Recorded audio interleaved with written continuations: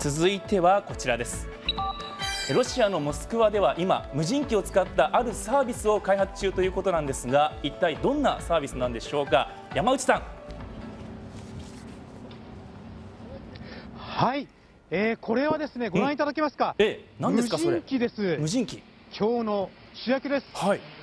無人機。あ今離陸しますよ、これ。無人機が離陸していきます。はい。あれ、はい、なんかすごく決めてますね、今日ね。こんな格好しておりますが、どうしたんですか？え、あの今日はですね、あのイタリアンを食べようと思っています。イタリアン？というわけで今日の中継はこのモスクワのおしゃれなイタリアンの店ではありません。実はちょっと言ってみましょうか。えー、実はこちらですね。先ほどの無人機、これをね開発した会社なんです。会社？では早速中へ伺ってみましょう。えーはい、無人機を開発している会社です。ですね、では、あの中に入っていますよ。はい。はい、でこちらの中で今何が行われているというかとですね、はい、ご覧ください。こちら。実は今の無人機をここで操縦しているんです。なるほど。操縦席が設けられていましてね、ええ、今このオレグさんがあのこのモニターを見ながら、えええー、このリモコンを操作して、えー、操縦をしています。えー、5キロ離れたところまで無人機を飛ばせるということなんです。あの山内さん、まずその無人機とイタリアンがつながらないんですけど、はい、どういった関係なんですか、それは？はい、うん、そうですね、実は無人機と言いましてもね、はい、ピザなんです。ピザ？で、えー、この無人機がですねピザ。を運んできてくれるんですね。ということで、こちらにですね、えー、特別のテーブルを用意させていただきました。今日は用意してますね、いろいろと。はい。やえあの今音が聞こえてきてるかと思うんですよね。はい、あの上ご覧ください。え？どういうことだ？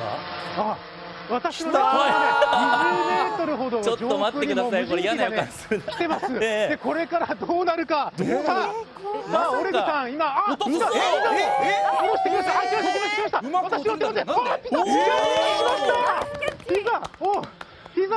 今あはい今ピザをキャッチしましたねこれ今これピザをですね吊るしていたロープを今また無人機に巻き取って帰っていくところなんですね。最初揺れましたよ。うわ届きましたよ。揺れましたよ最初は。大丈夫ですか？中身は？いやええどうでしょう？中身。さあどうでしょうかね？中見てみましょう早速。